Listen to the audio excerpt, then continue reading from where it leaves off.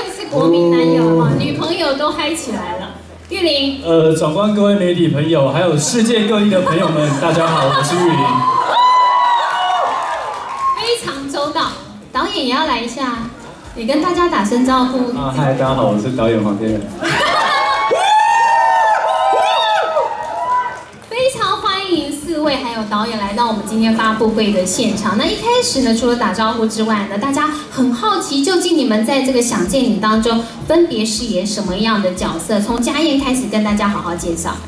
呃，我饰演的角色可以讲名字吧？可以，可以，可以。我饰演角色是黄宇轩，然后因为她男友离开她了，非常非常的想念她，然后因为她非常的想念以及对她的爱。这样一个动力，然后在一个契机下，他穿越到了一九九八年的台南。所以你也是一人分饰，刚刚我提到一人分饰两角，而且你也要灵魂穿越，对不对？哦，那光汉呢？那我也可以讲名字吧？可以，都可以讲名字，对不对？其实我也算是一人分饰两角，我是饰演呃李子维跟王全胜，然后呃王全胜就是他的。他就是离开我的男友，离开你，离开他的男友。我们虽然不知道原因是什么，可是你怎么舍得离开这么美的女友呢？呃，他可能是没有，他可能是不喜欢我的穿衣风格吧。对，是。穿衣风格，我们聊完角色，我们再来好好聊聊穿衣风格。好，来。嗯，然后李子维的话，就是高中时期的三个人。嗯，我觉得两个个性比较都不太一样。这对你来说应该也是一个很大的挑战。也是我第一次接演呃两个角色，一次分饰两角这样子。我相信这个所有的观众也会看得非常的过瘾。博宇嘞，我饰演的叫莫俊杰，是一九九八年的学生。然后我们三个高中故事，我跟紫薇是好妈子。对，然后我非常喜欢那个韵如。韵如就是我演的，所以高中生的爱心，也现实生活中也非常欣赏的。哦，这是告白吗？谢先生会，就对于对于前辈的欣赏，谁是前辈？你真的很敢哎哦！所以在戏中你是对他有就是深深的爱恋那样子，爱慕，单纯的高中生的那种初恋的喜欢。我们也没有想多啊。好，好，那玉林呢？呃，我是光汉跟博宇的同班同学，嗯，然后也是三年二班的班长，哦，也是纠察队队的队长，是好学生是不是？好多职务哎，对对对，学号三五一二三四，这是真的吗？真的真的真的，三五一二三四，三五一二三四，你知道那个在牢里面也都叫编号的。我们还是叫你玉林好了哈，所以你是这个好学生代表的。好学生代表。好学生，哎，有像吗？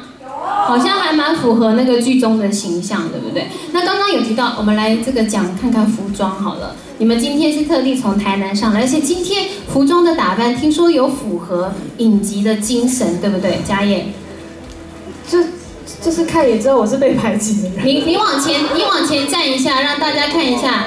今天最亮就是你了，但是我要先讲，就是今天明明有讲好，大家要复古闪亮哦，所以哦，来转一圈，转一圈，这很像那个舞池当中的那颗球，在哪里给大家看看啊？穿喇叭裤哎，然后闪亮，所以喇叭裤算是复古精神之一，对不对？可是我觉得玉林今天真的有做到复古，哦，有没有？你是喇叭嘴，我觉得来，你们两位往前一步，这个你们。那个嘉燕跟玉玲，你们先往前一步。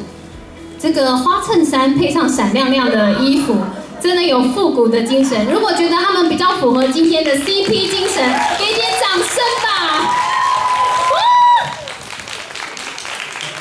那不好意思，我就先走了。我们是戏中的 CP，他们是今天的 CP，好不好？因为你们在戏中很多对手戏了，所以我们今天让玉玲好学生也要有点福利嘛，对不对？那听说导演今天其实也有符合复古精神哈，啊是不是？听说你也没有吧？没有，没有。他这二十年都穿这样，所以他是人就是一个复古的代表。不是我第一次穿这样。哦，你第一次穿这样，他平常都穿怎样？机能衣，他平常都穿，要问演员比较准，他平常都穿怎样？国语比较休闲一点的，对。比较休闲一点。就阿北，阿北是不是？哎，现在阿北很红哎，阿北都会抓头说这个这个怎样，所以你今天也算是盛装打扮。会穿那种就是登山那种比较透气的那种机能外套 跟机能衣这样子，但我觉得很好看，尤其是紫色。啊，紫色。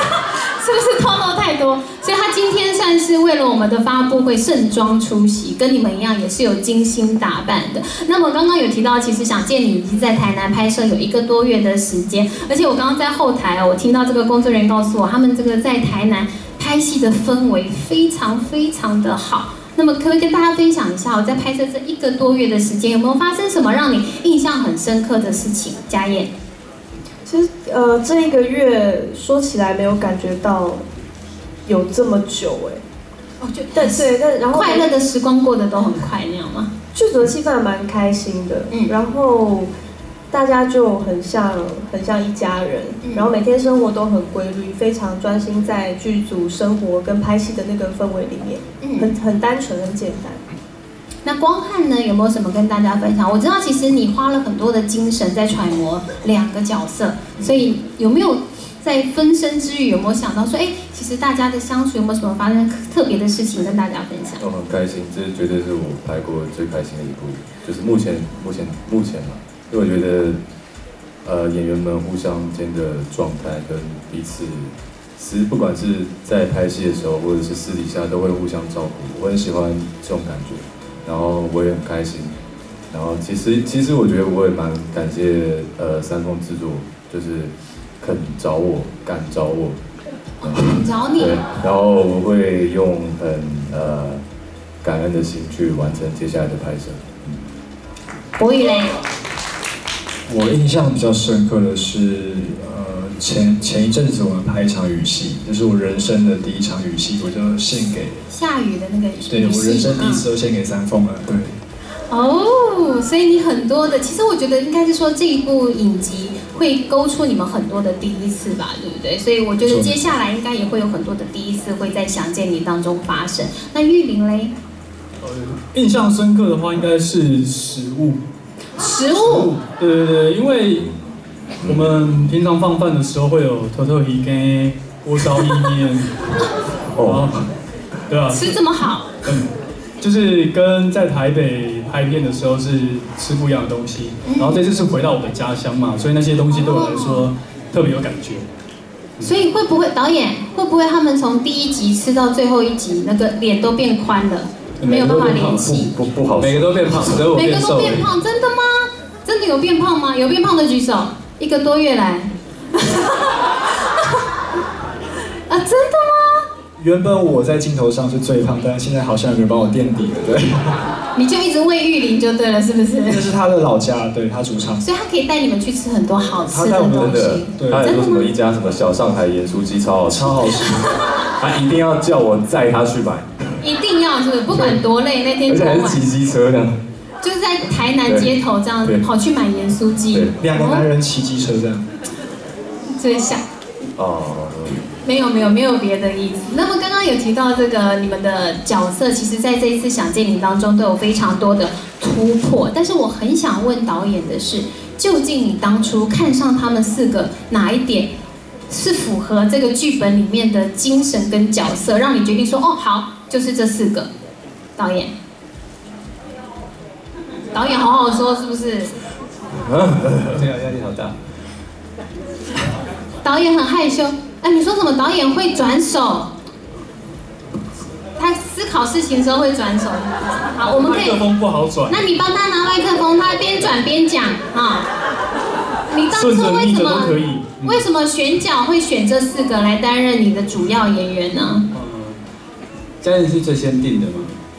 嗯。对，那因为这个刚刚主持人说过演什么像什么，然后对，就是这个需要非常非常多经验的一个老演员。他才可以达到这个，嗯。我觉得，嗯，这是称赞吗？嘉义有什么？嘉义有什么要回应导演的？没有，我觉得普天之下，我这个年纪能演高中生的也不多。你知道吗？我透过那个想见你的 Facebook 的脸书官方粉丝团，我看到你们四个人的背影，因为之前都还不能透露嘛。我看到女主角，我真的是吓呆了。我觉得她根本就是一个国高中生的背影，所以你真的非常厉害。导演，我不同意你的那个资历比较老。后南全智贤，就只是背影而已。就就怎样？只是背影而已。哦，只。转过来也是。你看，你看。嘉燕，你是不是有在台南得罪他什么？对我可能可能有吧，有吗？有吗？没有没有没有，你只是想要开玩笑而已，是不是？哦，导演的玩笑真的。他他今天手被定住，没办法转，没办法转，没办法表达。除了家宴之外呢？你为什么？那哦，光汉就是去年有跟他合作过一次嘛。嗯嗯，所以那时候就看到一些他的特质，嗯，就觉得嗯，这里面那个角色。年轻的时候其实就是一个很很怎样？很很很 帅，很是台语，是台语，就是很嗯很白白木木吃呃白糖桂木。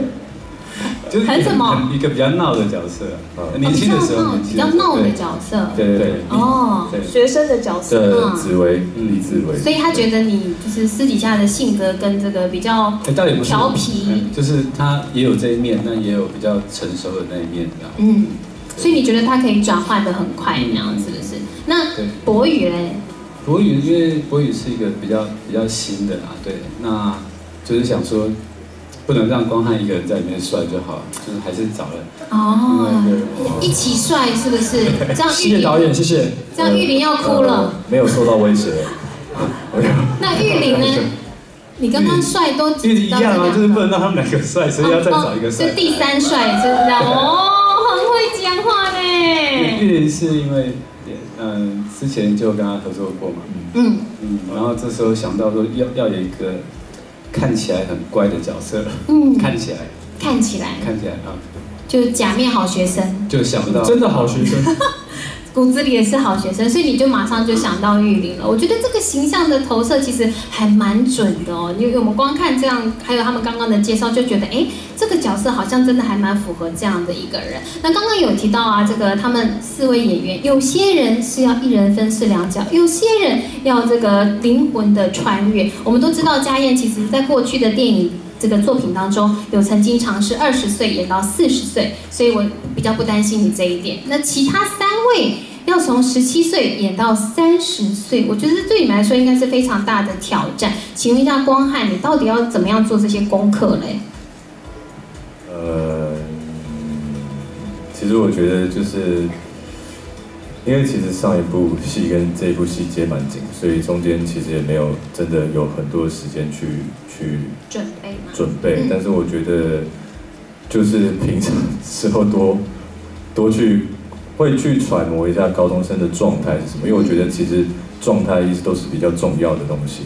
对啊，就是我觉得状态对了，就是什么做什么都对，所以会尽量让自己在。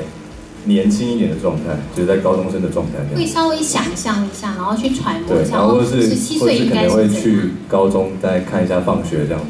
哦，看放学是是女中吗？呃，不要不要讲出来。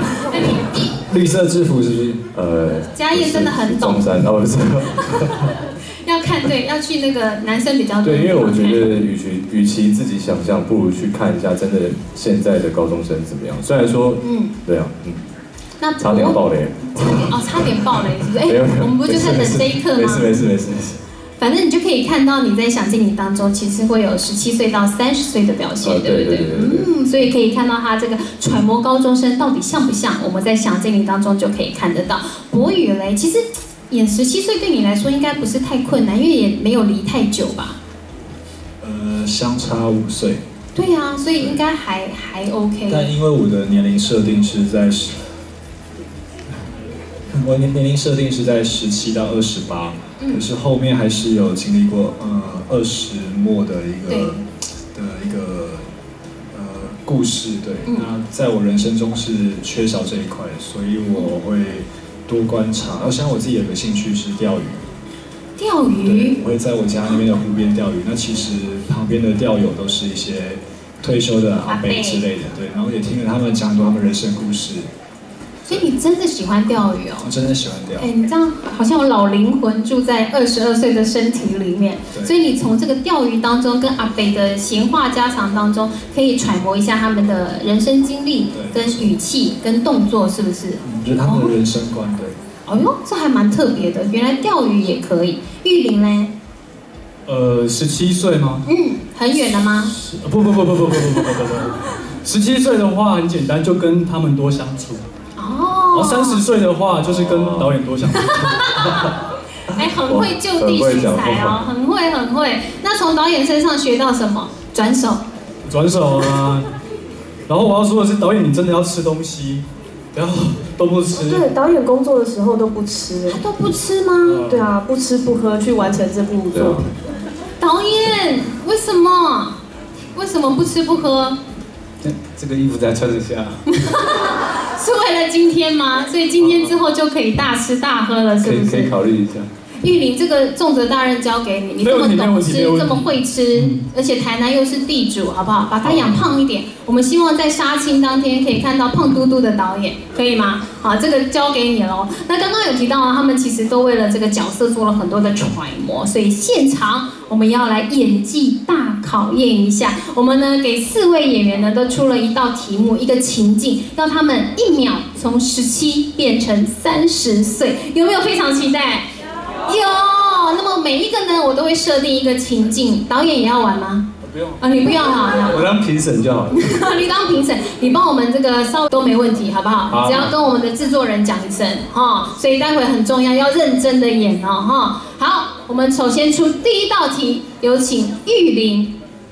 如果今天你肚子很饿，然后骑车去台南、上海什么？上海？小上海，小上海，小上海。要买最后一份盐酥鸡，老板都要关门了。买到盐酥鸡，超开心。回家却发现是青椒。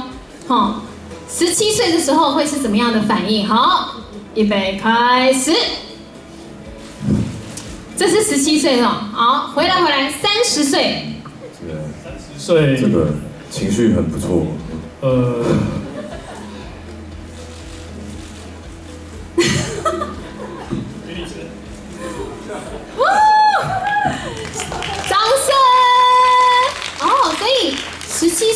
比较见不得盐酥鸡变青椒，对三十岁容忍度就稍微大一点，对，觉得青椒也健康那样子。青椒还是不吃，青椒盐酥鸡还是要买，那那个心情是比较，哎，所以十七岁会比较大咧咧，比较张扬一点，然后三十岁就会有点，哎，算了算了这样子，这是你，这是你的，可以吗？导演可以吗？OK 吗？十七岁持续的张扬不像他在戏里面的角色，所以。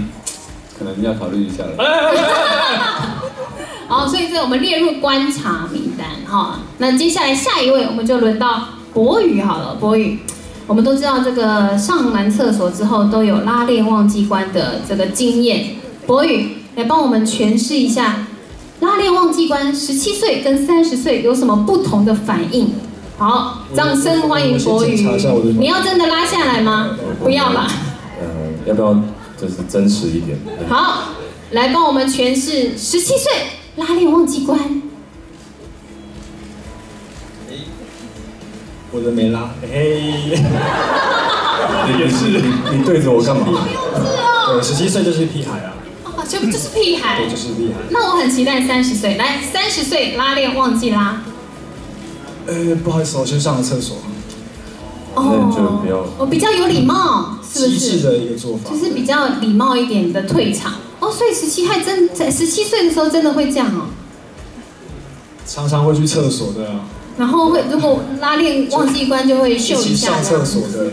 嗯，我还蛮好奇你高中生活都怎么过的哈。这有时候也是反映真实人生呐。好，接下来哎，我们要给那个博宇一个掌声啊！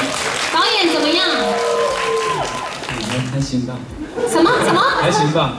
他说什么？还行，还行，还还行，还行，还行啊，还行。好，光汉，给你的这个问题呢，有点有点大，就是十七岁要搭讪人，跟三十岁要搭讪人，你会有什么不同的态度？哦，我想到了。好，你想到了。十七岁到三十岁，五秒。哦，五秒，你需要对象吗？五秒演完可以吗？可以可以，你需要对象吗？导演导演，他要搭讪导演哦。好像不好像不是很情愿。好，十七岁跟三十岁的搭讪，预备开始。我很帅，我有钱。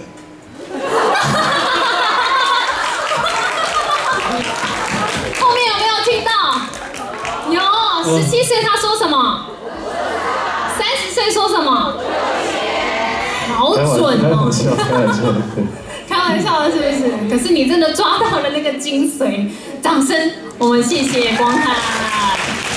好，最后一题当然要留给这个金钟影后家燕。最后一题真的我觉得非常困难哦，压力这么大，压力非常大，请你帮我们一秒诠释十七岁的想见你，还有三十岁的想见你。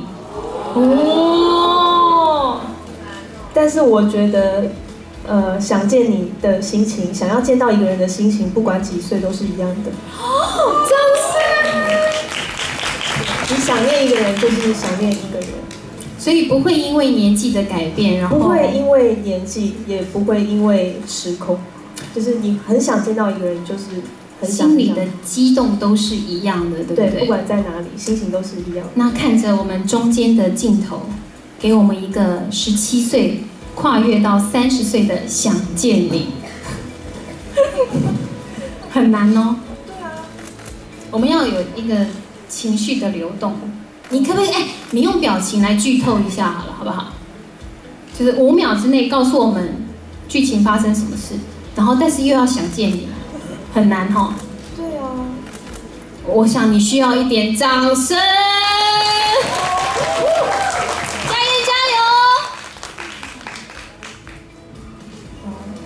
好，我很想你。哦，有没有被勾到好像还好，好像还好。你你要在大家去看戏，在戏里面不是这样子，不是不是这样的，是不是？可是我觉得他刚刚有一字一句的说出“我想见你”。那么我相信大家也想要见到这部非常好看的作品，所以接下来要麻烦这个导演还有四位演员努力继续完成这部有深度、有温度、更有层次，而且呢是非常有意思的《想见你》这个好故事。那我相信呢，大家在听完他们的介绍还有分享之后，也会更迫不及待的期待二零一九年最经典而且最值得好看的大戏叫做什么？想见你，想见你。二零一九年即将跟大家见面，敬请期待。谢谢四位演员，也谢谢导演今天来到我们发布会现场。谢谢你们的分享，请加加油哦。好，那接下来最后呢，要大家要一起说一个你从来没有听过的好故事，也就是想见你。来看一下左手边，左手边有很多的媒体大哥大姐。那么希望呢，这部全新影集《想见你》可以引领台湾戏剧的新风潮，并且让全亚洲的观众都赞叹不已、回味无穷。来看一下右手边，右手边也有很多的媒体朋友。那二零一九年就要跟大家见面，大家可以敬请期待。那我们都知道呢。